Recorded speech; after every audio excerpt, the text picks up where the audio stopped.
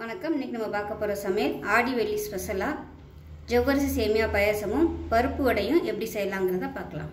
ஒரு மிக்சிங் பவுல் எடுத்துக்கலாம். இதில் வந்து மெஷரிங் கப்பில் முக்கால் கப் அளவுக்கு கடலைப்பருப்பு எடுத்துக்கலாம். ரெண்டு டேபிள் ஸ்பூன் உளுந்து சேர்த்துக்கலாம். ரெண்டு டேபிள் ஸ்பூன் பருப்பு சேர்த்துக்கலாம். அது கூடவே ஒரு டேபிள் ஸ்பூன் பச்சரிசி எடுத்திருக்கேன். இதை சேர்த்துக்கலாம். இப்போ இது எல்லாத்தையுமே நல்லா கழுவிட்டு பார்க்கலாம். இப்போ இது நல்லா கழுவிட்டு வந்தாச்சு. இப்போ இதில் தண்ணி ஊற்றிக்கலாம். ரொம்ப தண்ணி ஊற்றிடுவோன்னா கொஞ்சம் மூழ்கிற அளவு மட்டும் தண்ணி ஊற்றிக்கோங்க ஊற்றிட்டு இது நல்லா ஒரு ரெண்டுலேருந்து ஒரு மூணு மணி நேரம் ஊறட்டும். டைம் இருந்தால் மூணு மணி நேரம் நல்லா ஊற வச்சுக்கோங்க. இல்லைன்னா ஒரு ரெண்டு மணி நேரம் ஊறட்டும். இப்போ இது ஊறினதுக்கப்புறம் பார்க்கலாம். இப்போ வந்து ஒரு குக்கர் எடுத்துக்கலாம். இது வந்து கொஞ்சமாக எண்ணெய் விட்டுக்கோங்க வந்து முந்திரி பருப்பு கிஸ்மிஸ் பழம் ஃபஸ்ட்டு இதை வறுத்துட்டு அதுக்கப்புறமா நான் ஜவ்வரிசியும் சேமியாவையும் வறுத்துக்கலாம். இப்போ பாருங்கள் ஃபஸ்ட்டு வந்து நம்ம முந்திரி பருப்பை வறுத்து எடுத்துக்கலாம். ஏற்கனவே வறுத்த முந்திரி பருப்பு தான். இருந்தாலும் நம்ம லைட்டாக எண்ணெயில் வந்து நெய்யில் வறுத்துக்கலாம். முந்திரி பருப்பு நல்லா சிவக்க ஆரம்பிச்சிருச்சு. இப்போ கிஸ்மிஸ் பழம் சேர்த்துக்கலாம். முதலே வந்து இந்த கிஸ்மிஸ் பழத்தை சேர்த்துட்டோம்னா ரொம்ப அப்படியே கருகி போயிடும் அதனால் லாஸ்ட்டாக வந்து எடுக்க போயில இந்த பழத்தை கிஸ்மிஸ் பழத்தை சேர்த்து நல்லா புரிஞ்சு வரையில் எடுத்துக்கலாம். பாருங்கள் எல்லாமே நல்லா சிவந்துருச்சு. எடுத்துடலாம். எடுத்து தனியாக வேறு பிளேட்டுக்கு மாற்றிக்கலாம் முன் கிஸ்மிஸ் பழம் வந்து சட்டுன்னு கருகி போயிடும் இப்போ சேமியா சேர்த்துக்கலாம். நீங்கள் வந்து எந்த டம்ளரில் அளக்குறீங்களோ அதே டம்ளரில் ஒரு கால் டம்ளர் அளவுக்கு சேமியா சேர்த்துக்கலாம். நான் வந்து ஒரு மூணுலேருந்து ஒரு நாலு பேர் சாப்பிட்ற அளவுக்கு தான் பாயாசம் பண்ணுறேன் ஐம்பது கிராம் ஜவ்வரிசி எடுத்திருக்கேன். இது வந்து நல்லா செவக்கட்டும். இதை வந்து எடுத்துடலாம். இப்போ இதில் ஐம்பது கிராம் அளவுக்கு ஜவ்வரிசி சேர்த்துக்கலாம். இது வந்து மாவு ஜவ்வரிசி. அதனால் இது வந்து ஊற வைக்கிறேன்னு அவசியம் இல்லை. இந்த டம்ளரில் இது வந்து நூறு எம்எல்க்கு வந்து கரெக்டாக பிடிக்கும். இந்த டம்ளரில் அரை டம்ளர் அளவுக்கு ஜவ்வரிசி எடுத்திருக்கேன் மாவு ஜவ்வரிசி. இதே டம்ளரில் ஒரு கால் டம்ளர் வர மாதிரி சேமியா எடுத்திருக்கேன். நான் சொல்லியிருக்க அளவு ஃபுல்லாக அந்த டம்ளர் கணக்கில் தான் சொல்லியிருக்கேன். நீங்கள் செய்யும்போது ஒரே அளவாக வந்து டம்ளர் வந்து யூஸ் பண்ணிக்கோங்க. இந்த ஜவ்வரிசி நல்லா பொறிஞ்சு வரட்டும்.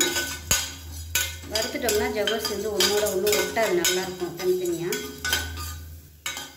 ஜவ்வரிசி நல்லா பொறிஞ்சு சமத்திடலாம் இப்போ எந்த கப்பில் நம்ம வந்து ஜவ்வரிசி இழந்தோமோ அதே கப்பில் ரெண்டு கப் அளவுக்கு தண்ணி சேர்த்துக்கலாம்.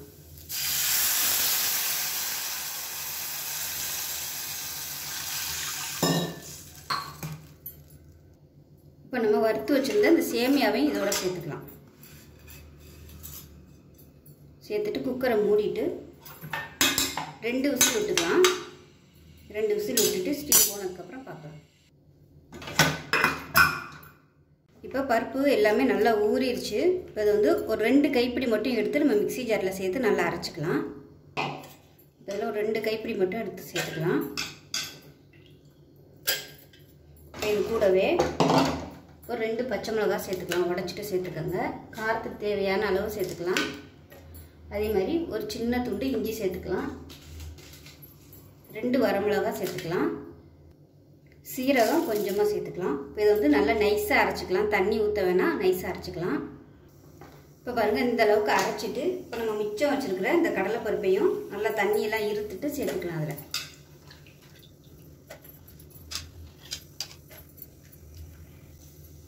இதில் தேவையான அளவுக்கு உப்பு சேர்த்துக்கலாம். உப்பு சேர்த்துட்டு தண்ணி ஊற்ற வேணால் நல்லா குறை குறை அரைச்சிக்கலாம் இப்போ பாருங்கள் நல்லா நைஸாக அரைச்சாச்சு. அதாவது ரொம்ப நைஸாக இல்லை. குறை குறைன்னு இருக்குது எந்த அளவுக்கு குறை குறைன்னு இருக்கோ அந்த அளவுக்கு வடை வந்து நல்லா கிறிஸ்பியாக வரும். ரொம்ப நைஸாக அரைச்சிட்டிங்கன்னா வடையுமே பார்த்திங்கன்னா ரொம்ப ஹார்டாக இருக்கும்.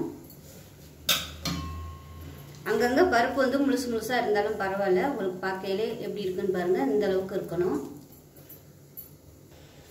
இப்போ இதில் பொடியாக நறுக்குன கருவேப்பிலை சேர்த்துக்கலாம். பொடியாக நறுக்குன கொத்தமல்லியில் சேர்த்துக்கலாம். இது வந்து பிரசாதமாக நம்ம யூஸ் பண்ணுறதுனால வெங்காயம் வந்து நான் சேர்க்கலை. நீங்கள் நார்மலாக செய்கிறதா இருந்தால் வெங்காயம் வந்து பொடியாக நறுக்கிட்டு சேர்த்துக்கோங்க. நான் வந்து கட்டி பெருங்காயமாக வச்சுருக்கிறதுனால இதில் வந்து நான் கட்டி பெருங்காயம் யூஸ் பண்ணல. தூள் வச்சுருந்தீங்கன்னா நீங்கள் வந்து யூஸ் பண்ணிக்கோங்க. இப்போ இதை வந்து நல்லா கலந்து விட்டுக்கலாம். ஒருவேளை உங்களுக்கு வந்து உருண்டை பிடிக்க வரல அப்படின்னு நினச்சிங்கன்னா கொஞ்சமாக அரிசி மாவு வந்து சேர்த்து பிசைஞ்சுக்கிட்டிங்கன்னா உங்களுக்கு வந்து உருண்டை பிடிக்க வந்துடும் ஒருவேளை தண்ணி வந்து எக்ஸ்ட்ரா கூடிருச்சு அப்படின்னா இது நீங்கள் அரிசி மாவு வந்து சேர்த்துக்கோங்க. பார்த்தீங்கன்னா நல்லா உருண்டை பிடிக்க வருது. இந்த மாதிரி இருக்கணும். இல்லைன்னா உங்களுக்கு வந்து அரிசி மாவு சேர்த்து நீங்கள் பிசைஞ்சுக்கணும் இப்போ பார்த்தீங்கன்னா அரைச்ச பருப்பு எல்லாத்தையுமே இந்த மாதிரி உருண்டையாக எடுத்து வச்சுருக்கேன். எண்ணெய் காஞ்சதை நம்ம தட்டி போடுறதுக்கு கரெக்டாக இருக்கும். இந்த பாருங்கள் இந்த சைஸுக்கு வந்து எல்லாத்தையும் நம்ம கையில் வந்து தட்டி ரெடி பண்ணி வச்சுக்கலாம். இப்போ எண்ணெய் நல்லா சூடு ஏறிடுச்சு. இப்போ ஒவ்வொரு வடையாக நம்ம போட்டுடலாம். அடுப்பு வந்து நல்லா மீடியமாக வச்சுக்கோங்க.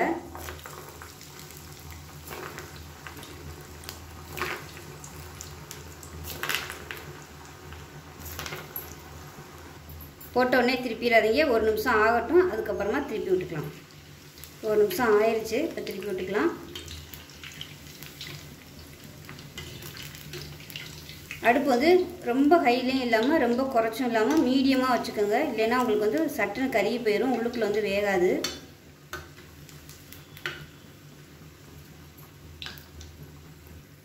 இப்போ பாருங்கள் வடை நல்லா செவந்து வந்துருச்சு. இதுக்கு மேலேயும் செவக்க விடணும்னு நினச்சிங்கன்னா நீங்கள் உங்களோட விருப்பம் தான் நான் இதோட எடுத்துக்கிறேன். அதே மாதிரி இந்த பபுள்ஸும் பார்த்திங்கன்னா நல்லா கொஞ்சம் அப்படியே அரிசி சேர்த்துருக்கனால வடை வந்து அந்தளவுக்கு எண்ணெயும் குடிக்காது நல்லாயிருக்கும் ட்ரையாக உங்களுக்கு பார்க்கையிலே தெரியும். பாருங்க எந்த அளவுக்கு ட்ரையாக இருக்குன்னு. இப்போ இதே மாதிரியே மிச்சம் இருக்கிறதையும் போட்டு எடுத்துக்கலாம். இப்போ பாயசம் வச்சுருந்தது எப்படி இருக்குன்னு பார்க்கலாம். இப்போ கேஸ் ஆன் பண்ணிக்கோங்க.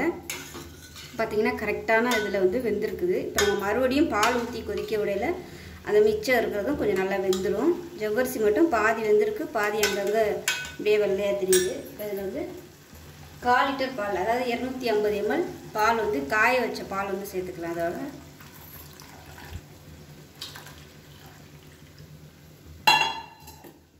இதை சேர்த்துட்டு கொதிக்க விட்டுக்கலாம். ஒரு ரெண்டு நிமிஷம் கொதிக்கட்டும். அதுக்கப்புறமா நம்ம ஜீனி சேர்த்துக்கலாம். ஏன்னா இன்னும் ஜவ்வரிசி வந்து இன்னும் வேகலை. கொஞ்சம் வேகணும். அதனால் வெந்ததுக்கப்புறமா நம்ம ஜீனி சேர்த்துக்கலாம். கொதிக்கையில் ஒரே ஒரு ஏலக்காயை நச்சுட்டு சேர்த்துக்கலாம். இல்லைன்னா நீங்கள் ஜீனியோட பொடி பண்ணிவிட்டு ஏலக்காய் தூளாக சேர்த்துக்கோங்க. வெளில ரொம்ப கெட்டியாக இருந்துச்சுன்னா லைட்டாக சுடு தண்ணி வந்து சேர்த்துக்கோங்க. ஜவ்வரிசி வந்து நல்லா வெந்துருச்சான்னு செக் பண்ணிக்கோங்க. அந்த கலர் வந்து அப்படியே மாறிடும். இப்போ இதில் வந்து எந்த கப்பில் எடுத்தோமோ அதே கப்பில் ஒரு அரை கப் அளவுக்கு ஜீனி சேர்த்துக்கலாம். ஜீனி இல்லை ப்ரௌன் சுகர் நாட்டு சக்கரை எதுனாலும் நீங்கள் வந்து சேர்த்துக்கலாம். இப்போ வந்து அடுப்பு நல்லா குறைச்சி வச்சுக்கோங்க. குறைச்சி வச்சுட்டு இது நல்லா கரையட்டும். ஜீனி வந்து கரையணும்.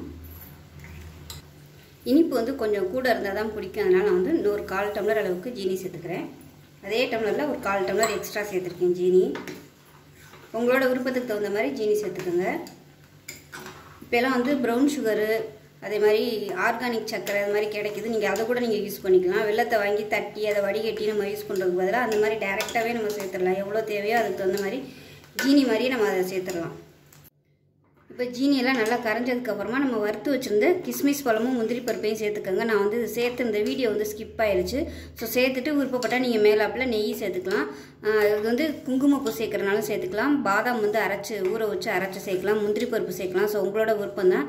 இது வந்து ரொம்ப சிம்பிளாக பண்ணக்கூடிய ஒரு பாயசம். அவ்வளோதான் சூப்பரான ஜவ்வரிசி சேமியா பாயசம் இன்ஸ்டண்ட்டாக ரெடி ஆயிடுச்சு இந்த பாயாசம் கரெக்டாக ஒரு மூணு பேர் சாப்பிட்லாம். ஒரு நாலு டம்ளர் ஒரு மூணுலேருந்து ஒரு நாலு டம்ளர் தாராளமாக வரும். நீங்கள் வந்து எக்ஸ்ட்ரா சேர்க்குறதா இருந்தால் நான் சொல்லியிருக்க அளவுகள் வந்து அப்படியே நீங்கள் வந்து டபுளாக எடுத்துக்கோங்க.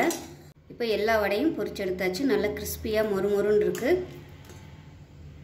அருமையான சேமியா ஜவ்வரிசி பாயாசமும் பருப்பு வடையும் சூப்பராக ரெடி ஆயிடுச்சு ஆடி வெளிக்கு இது மாதிரி செஞ்சு பாருங்கள் செஞ்சு பார்த்துட்டு எப்படி வந்துச்சுங்கிறத சொல்லுங்கள் வீடியோ பிடிச்சுன்னா லைக் பண்ணுங்கள் கமெண்ட் பண்ணுங்கள் சேனலை சப்ஸ்கிரைப் பண்ணுங்கள் பக்கத்தில் உள்ள பெல் பட்டனையும் ப்ரெஸ் பண்ணுங்கள் நன்றி.